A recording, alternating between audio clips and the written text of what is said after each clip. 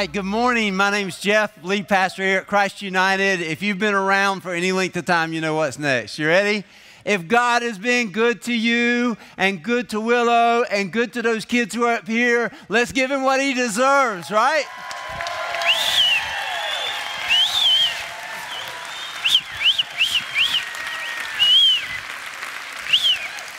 Right. Love it. Awesome. Man, what a beautiful sight. It's getting more and more like a standing ovation, right? We're getting there, man. We're getting there. All right, so so here's the deal. Um, we are getting ready to talk about what Willow just began. Here, Willow is saying, I've decided to follow Jesus. And she said, anybody can say yes to him at any time. You know what? The amazing truth we learned out of chapter 15 of the book of Acts from David, it's been a while back when he brought us this truth, but that is that that invitation to follow Jesus is given not because we got good enough or not because we deserve it, it's given by his grace. And by His grace, He calls people that nobody would expect to have that invitation to be a part of the adventure of following Him. He's walking along, and Jesus sees Matthew, a tax collector that everybody would think is just worthless and sinful and no good. And He says, Come and follow me. And He turns that Matthew into one of His apostles, and He writes one of the Gospels. It's amazing. He says to Paul, whose life we're really looking at right now, He says to him, as Paul is on his way to persecute Christians Christians to put him in jail, already oversaw the death of one of the best Christ followers. And God grabs hold of his heart and says, You're going to follow me too. Now, here's the thing is that what Willow may have a little concept of at nine years old, I hope before you get out of here, you're going to have a much bigger understanding. And that is that that baby is getting ready to set out on a journey, on an adventure that is incomprehensibly awesome. When she talked about, I love to go to Family Kingdom and water parks and all that kind of do cool stuff with my family, she has no idea what cool is yet. Because what she's getting ready to experience as she goes forward in her Christian life is an adventure. And I want to say that if you haven't lived that adventure, you're not living a Christian life. If you're living just cultural Christianity and you have somehow feel a little bit bored in what you're experiencing, then you're not experiencing what God intended you to experience. I want to tell you what He intends for us to experience. A good example is found. I'm holding a book, and maybe y'all can see that book. Um, it's written by one of our own, Kel Steiner, and we are so blessed that Kel and Kristen are a part of our church, right? Right? Um, and, and Kel's book is called Adventures in Saying Yes to God because he's lived out a life living out that adventure like all of us are intended to do. And this is about his life. And so, one of the guys who wrote um, kind of like a foreword to this is John Dawson, who was the, the um, president of YWAM at one point. And he wrote this. He said, concerning Kel's life, he said, What an adventure! What a life! Wouldn't you love for that to be when somebody thinks about your life or hears about your life or reads about your life, they would say, Man, what an adventure! What a life! How many people here want to live life not in the mediocrity of cultural Christianity, but you want to live a life like the apostles lived, like we're reading about in the book of Acts? In your C group this past week, we asked the question Does God intend to do miracles today like He did then? The answer is what? Yes. Does God intend us to live out the adventure exactly like those guys did with the same passion, the same risk, the same rewards, the same excitement, the same passion? And if He does, what do you say? Yes? Yes. And so we know that God is calling us to something far bigger than what people actually live. The adventure I remember when I was in seminary and we read about people like we, we studied all of the characters of the Bible and we studied about people like Kel Steiner, people who have been missionaries and experienced great things. And then I'm signing up for a class and I see a class that says backpacking and I'm going like, that's my kind of adventure, right? Because I get to I get to go backpacking and get seminary credit for it, y'all. And for a guy who hates to read, that was awesome.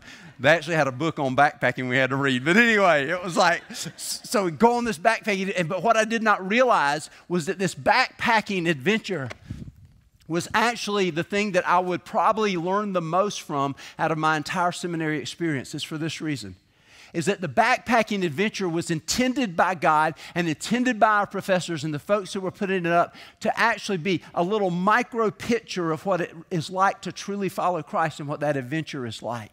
And what we learned in the process was is that man, we went to the Red River Gorge in Kentucky. Anybody ever been to the Red River Gorge? Oh, if you've missed it, man, it's phenomenal, right? Phenomenal place. Y'all, there are natural bridges, there are waterfalls that'll blow your mind. There are spots in there that feel like you're walking into the Garden of Eden. There are vistas where you look out over just miles and miles and miles of wilderness and mountains. It's just phenomenal place. It's also a very dangerous place. Now, in the Red River Gorge, when you enter it, there's a sign that says a dangerous place. And it says there's all kinds of great adventure and fun and great things that people experience here year after year and live to tell about it. But recently, people have not lived to tell about it because they've died in the process of visiting this place. And you see people who don't know what they're doing in the Red River Gorge. You can walk around a corner following a path that you think is going somewhere but goes off the edge of a cliff. It's like you suddenly begin to realize that, wait a minute, this is an extremely dangerous place. And so whenever, whenever you're living that adventure, there's so much beauty and so much passion and so much joy. There were pools and streams that we would just soak in. We'd take showers under waterfalls. It was phenomenal. And there's also really exciting stuff, and, and there's also really big risk in the process. So we needed somebody who had been there before us. So we had people that we would follow in that adventure, and they had been there. They knew where to go and where not to go. Our first time in the, into the, to the wilderness, they let us go one night, kind of doing it a little bit like we thought we should. And so, as a seminary student, I was so smart. And everybody else, everybody else is setting up their tents in these really rough places on roots and all that kind of stuff. I saw the perfect place. It was just like little pebbles and sand, and it was perfectly flat. Took out our tent. Myself and my bud, the smartest guys in the group, set up the tent there, not realizing it was a riverbed, right? Literally, literally a riverbed. That night, a storm hit, y'all, and b- before you knew it, we were literally 10 inches deep in water in our tent. It washed our tent down. And here's the thing I realized I need somebody to walk ahead of me. I need somebody who's already been here. And then we realized in the process that we needed people to walk beside us. We needed people who would, who, who would just help us because there are many times you need somebody to help you up because you had fallen down or help get you up over an obstacle that you couldn't get over on your own and you would help each other. You needed that. And then later we learned this that we would all have and all need somebody that was behind us not just somebody ahead of us and somebody beside us, but we need somebody behind us because we were going to take high school students through that process.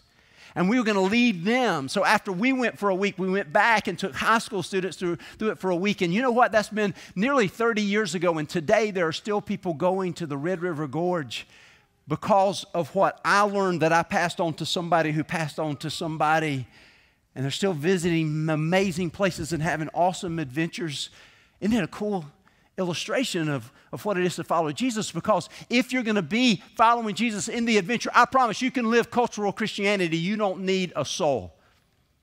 If you want to live the way that most people think that Christian life is lived, then you can do it on a golf course. You can do it without any intentional relationships. You can see people at church and say, Hi, great, God bless you.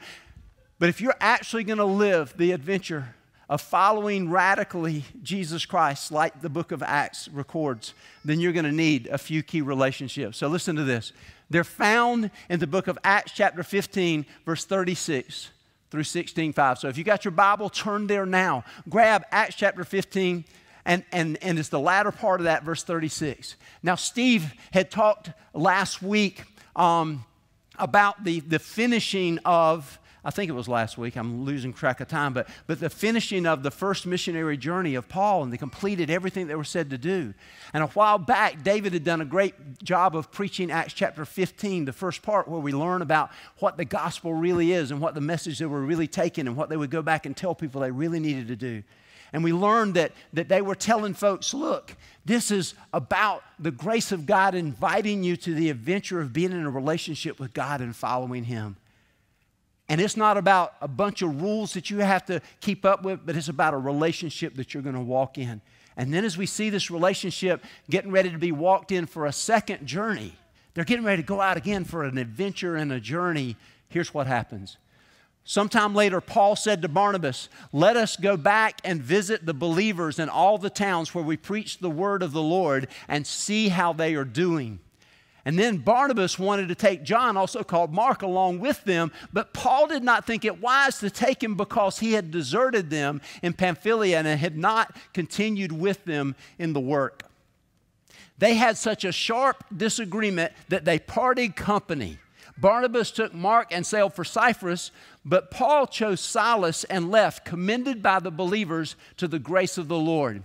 Says he went through Syria and Cilicia, strengthening the churches. And then it says Paul came to Derbe and then to Lystra, where a disciple named Timothy lived, whose mother was Jewish and a believer, but whose father was a Greek.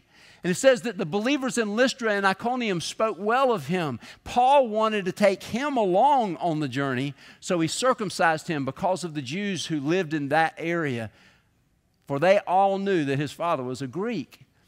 As they traveled from town to town, they delivered the decisions reached by the apostles and elders in Jerusalem for the people to obey. And then it says, So the churches were strengthened in the faith and grew daily in numbers. These guys are getting ready to launch in. They're launching into this adventure, and it's going to be just like the one before, and you're going to see so many powerful things happen. It's going to be risky, it's going to be exciting, and the churches are going to be strengthened, and people's lives are going to be changed, and people are going to be hearing the gospel that they're being invited into a relationship with God for the adventure of following Jesus. It's going to be awesome. But did you notice? That whenever they're getting out on this adventure, there are actually three relationships that they needed, three relationships that they needed in order to live out this adventure.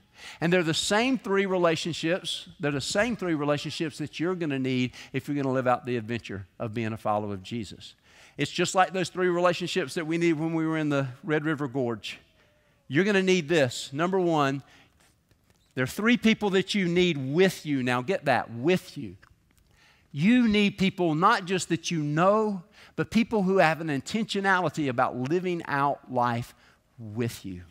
You need that, and first thing you need is this you need a Paul, someone walking in front of you.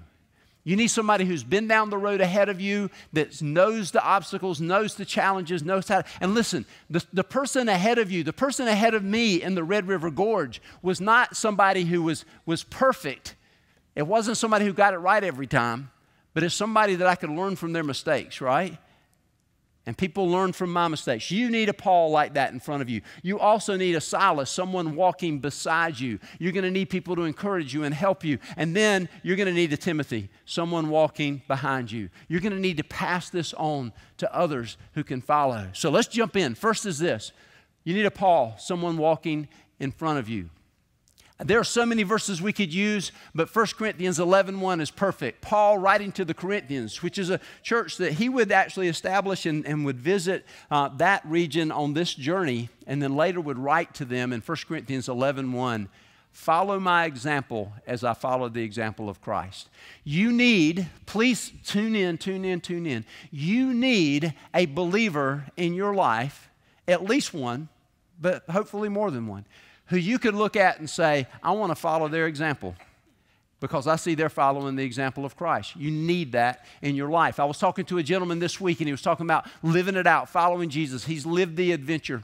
And he took me back to when he was a kid, and he said there was a man in the town that I grew up in. He was the blacksmith, and he said as the blacksmith, he was had these big rugged hands, and he was just this hoss of a man who hammered out steel into all kinds of things. He said he, he was just a man's man. He said, but he had the most gentle heart and the most loving heart, and he loved to worship God. In fact, he led our choir.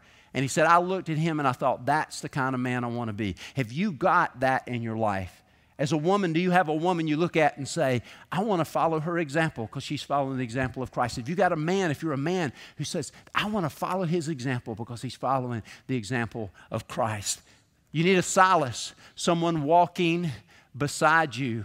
I want you to understand this important truth. Paul wrote to the Ephesians later in Ephesians 5 11. He said, Therefore, encourage one another and build each other up, just as in fact you're doing. Paul knew you're going to need that encourager in your life. You're also going to need somebody to help you. The wisest man who ever lived, Solomon, in the book of Ecclesiastes, chapter 4, verses 9 and 10, says this Two are better than one because they have a good return for their work. If one falls down, their friend can help them up. But pity the one who falls and has no one to help them up. So, just like those backpackers, we needed some people with us to help us.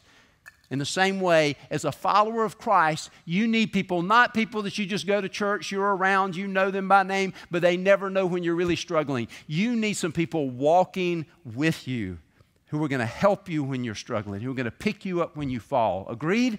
You need a Silas in your life. And then you're going to need a Timothy, someone walking behind you.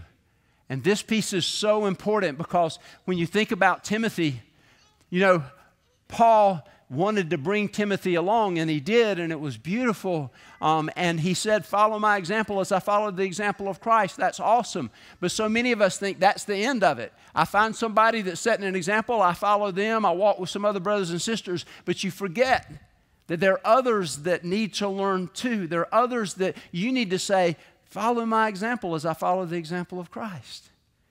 And you, if you never get there, hear this. If you never get to that point, you would miss the whole purpose for you still being on earth. Otherwise, God could just take you to heaven and you'd be finished. Your reason for remaining here is to help others. We talk about unconnected friends. Sometimes there are people who don't know God at all, and I want to introduce them to Jesus and to the gospel. And then I want to help them learn to follow Jesus. Others are people who are already people who believe in Jesus, but they don't have anybody to walk with. They're not connected. But you need to be the person who says, I need a Timothy in my life. I need a, a, a sister or a brother. And listen, they don't have to be physically younger than you. The person who was a Paul in my life was younger than me and yet I followed his example. So you look for a Timothy, you look for somebody who's younger in the faith, not by age, and you help them walk with you. You're going to need that. Now, I want to I want to point out that Paul, though he said, Follow my example to Timothy, it wasn't too long. Timothy was still a young man when he wrote this in 1 Timothy 4:12. He said, "Don't let anyone look down on you because you're young, but set an example for the believers in speech, in conduct, in love, in faith, and in purity. You set an example. So I don't care how old you are. God is calling you, no matter how, no matter how young you are physically. He's saying, Don't you let anybody look down on you because you're young. You need to be setting an example. You need to be able to say, like Paul did, follow my example. I'm following the example of Christ, right? You need that relationship in your life or you're going to miss the adventure. Now, the question becomes this how do you get relationships like these? Tune in because if you don't have these relationships, I promise you're not in the adventure. But you need them, you desperately need them. How do you get them? Number one is this number one is you have to choose them. You have to choose people intentionally to be a part of your life. Y'all remember that you're, we're told that in verse uh, it's 38 that, um, that Paul, no, it's actually verse 40, but Paul chose Silas. Paul chose Silas. He said, I'm gonna, I'm gonna ask somebody to do this adventure with me. Have you asked somebody to do the adventure with you? Have you said, Man, I want somebody to walk with me and us to pick each other up and encourage each other? If you haven't, you need to. You need to choose. It's an intentionality. People think it's all supposed to just kind of happen. It doesn't. You, you, don't, you don't have a great marriage because one day it just kind of happened. You made a choice and you invested in that choice, right? So, number one, you choose. Number two is this is that you need to commit to them. First, you choose them, then you commit to them. That whole process of committing and saying, I'm in, I'm, I'm, I'm all in, you know, I'm going to do this. Um, you're, you're choosing people. You're saying, hey, man, I see something in you. I'd like, to, I'd like to follow your example. I want you to be a Paul in my life. Or you're looking at people like Barnabas's and Silas's and you're saying, hey, I choose a relationship. I would love to live out this life with you. But then if you do that, you need to be committed to them, right? Paul chose Silas and he committed to him. Paul also chose Timothy. You need to look at somebody that you see that has promise. The way that, that um, Brent Richardson taught us in our training, which was so good, is you look for fat C's. And fat C's are, are people who are faithful, available, teachable, and have a little bit of courage. That's what Paul did. He saw this young man that was faithful, available, and teachable, and had a little courage. And he said, I want to bring you along. Come on. You got to choose them. But then you got to commit. And you got to say, I'm all in, man. I'm all in. Whether that's the Paul in your life or the Barnabas in your life or the Silas in your life or the Timothy in your life, whether they're walking ahead of you, beside you, or behind you, you got to be committed to be together.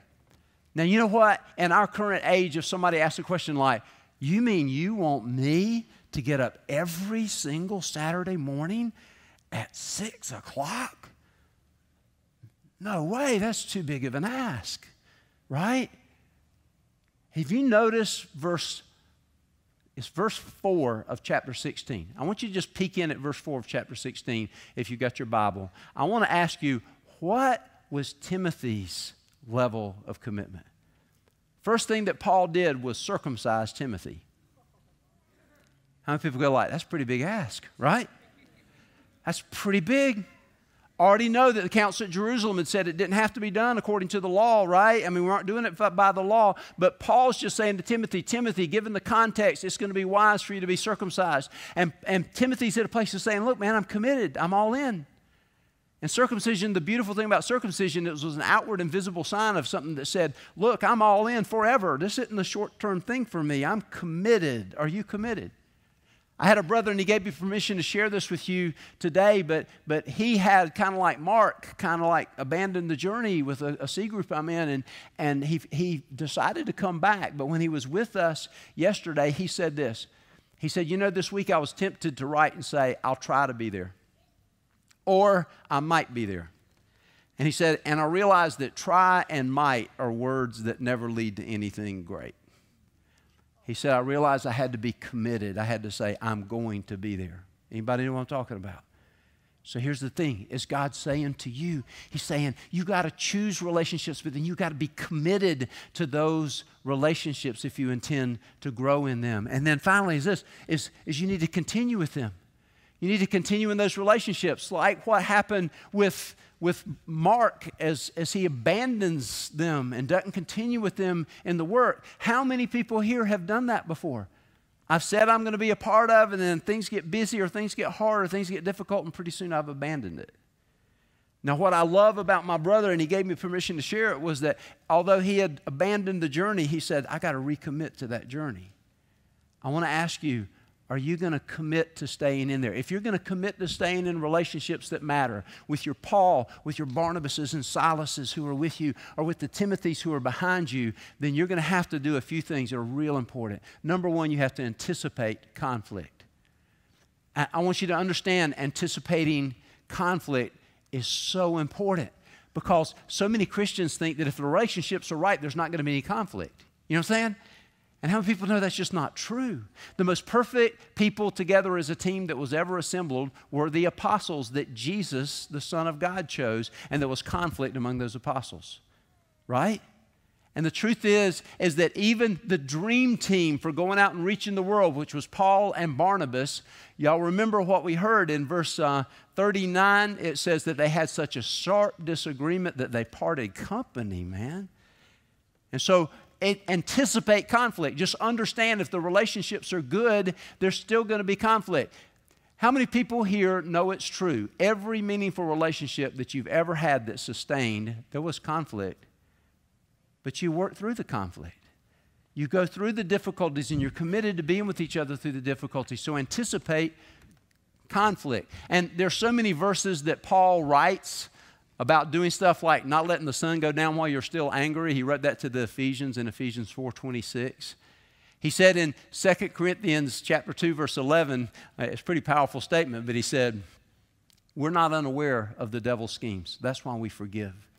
Because the enemy wants to divide us, and we anticipate there's going to be some conflict. So anticipate conflict. Next is offer forgiveness. Offering forgiveness is so important. Uh, Paul went on and write, wrote to those Ephesians, he said, Be kind and compassionate to one another, forgiving each other just as in Christ God forgave you.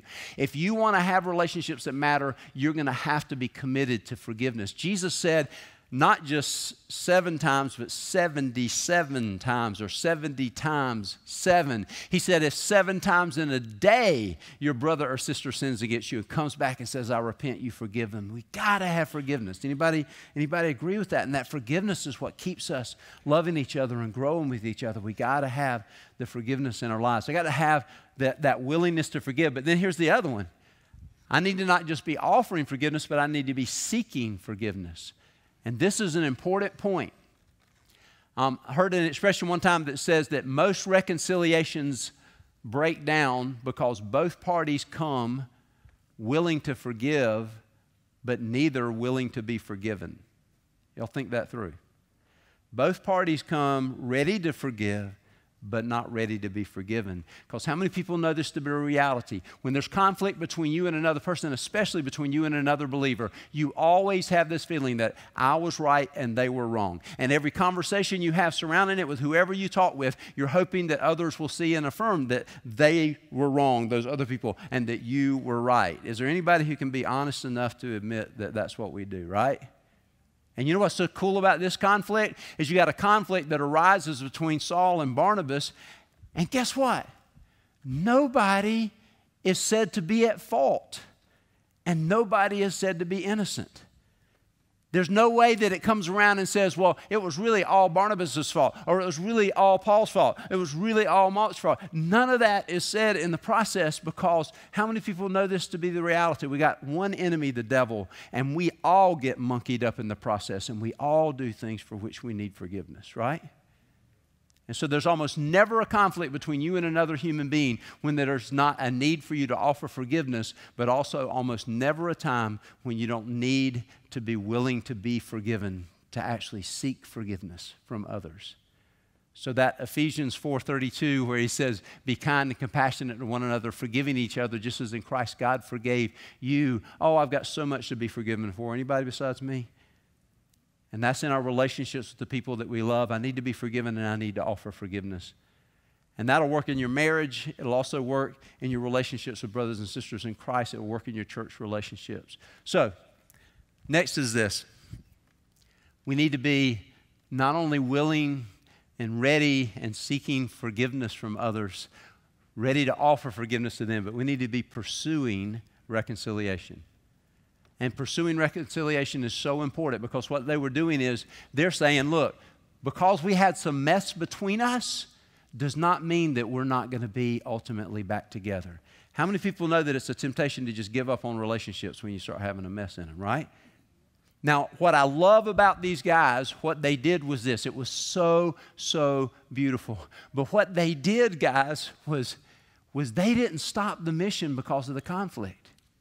There was conflict between Paul and Barnabas, and the enemies behind it, and there's, there's, there's conflict with Mark in the mix, and it's all conflict. And instead of them quitting, how many people do this? When there's conflict, I just quit. Must have been the wrong church because something bad happened. Or I tried a C group and somebody broke a confidence or they hurt my feelings, so I must not be okay with C group. You just stop. You stop whatever the mission was because there was some kind of problem somewhere. These guys didn't stop. In fact, God took what the devil intended to, for evil to stop the mission, he turned it around and doubled the mission. He sent groups in both directions, right? It was so cool. But that didn't mean that these guys were done with each other. Most people who have studied the Bible have recognized this reality, but here Paul is, and he's in this relationship where he is so upset with Mark that Mark has, I don't know, you don't even need to go with us, right? Mark, you abandoned us, you don't even need to go with us. By the end of Paul's life, he's writing to Timothy, who had been on this journey with him, in 2 Timothy chapter 4, verse 11. Paul's writing to Timothy and he says, Make sure to bring Mark.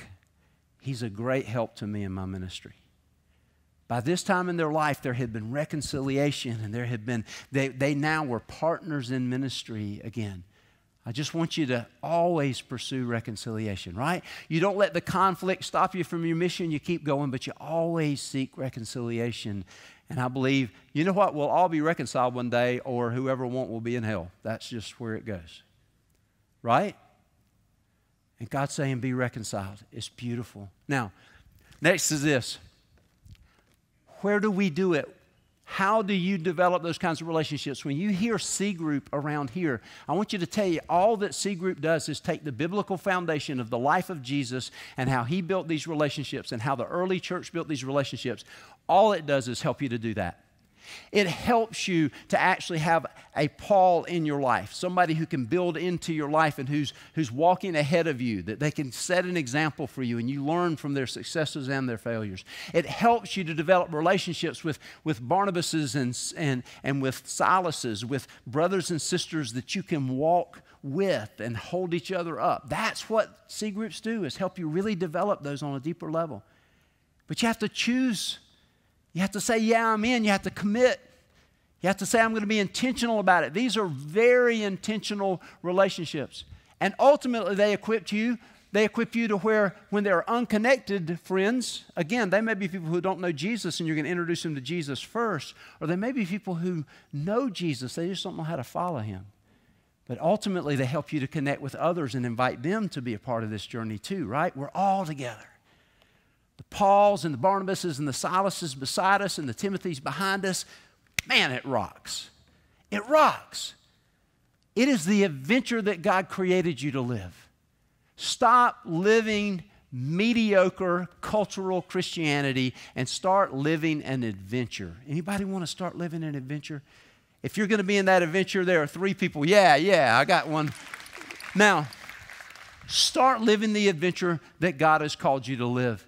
And so I want to just point out a few things as you leave here today. This is real important. In September, if you are a Christ follower and you don't have these kind of relationships, stop at the C group counter today on your way out. Now, if you think, I might, I might, or I'll try, wasted words. Anybody would say between you and God right now, I will. I will. I'm going to stop. I'm going to learn how to be connected. You don't have to even stop at the counter. Do you know somebody around you in this church or in your life who you say, man, that's what it looks like to follow Jesus? Go to them and say, come on, let's do a C group. You lead. Are you in one? Invite me in. And if you ask three or four or five people and they say, man, I haven't got time, I can't, whatever the case may be, then go to the C group counter and say, find me somebody. If you know a brother or sister around you that you look at and say, Man, I would love for your encouragement to be more than just the encouragement when our team loses at basketball. I want what happens between you and me to matter more than us just deciding where we're going to go out the following weekend. I want our relationship to matter, man. So I want to go on an adventure with you. Come on, let's live it together. Anybody want to do that with somebody? If you know somebody like that, say, Come on, let's do it together, right? Let's live the adventure. Sick of mediocre cultural Christianity. I want to live the adventure that God created me to live. Come on, live it with me. Anybody want to do that with somebody? Do it. And if you're a person who's already got all that yourself, but you've got an unconnected friend and there's no room for you in your C group because your C group's already full, I want you to consider starting one for that unconnected friend and say, come on, let's do it. Let's live it together. This August the 4th workshop, Huge, huge, huge. How many people have been reading your C group values for over three or six months and been reading? We're all committed to starting new C groups for unconnected friends. Who's read that? What? Let me see. Raise your hand again. All right, thank you. For everybody who's made that commitment, if there's an unconnected friend that needs one, Come to this August the 4th workshop. You can start a new C group for unconnected friends and stay in the one you're in, but come on, let's start bringing somebody along with us, right? You can text today that 72727, and, and you text that today to C group right now, 72727. You text that, and you can sign up today. And again, commitment. Do you know that what hangs in the balance of this moment? Tune in for a second. What hangs in the balance this moment is this the balance between you living an adventure in relationships that are going to rock your world or you living in mediocre cultural Christianity may hang right now on whether you take an action today or not. Take an action. Stop by the C group counter, text that number, get in it, get in the game, right? Let's live the adventure in the process. Now, I want to point out that when Paul was reconciled to Mark.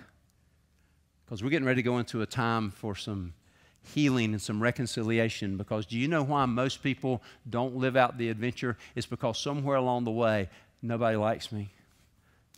I've asked some people in the group, and, and, and they said they were full, or, or I wanted somebody to be with me, and they stopped coming, and they stopped coming. It made me feel rejection.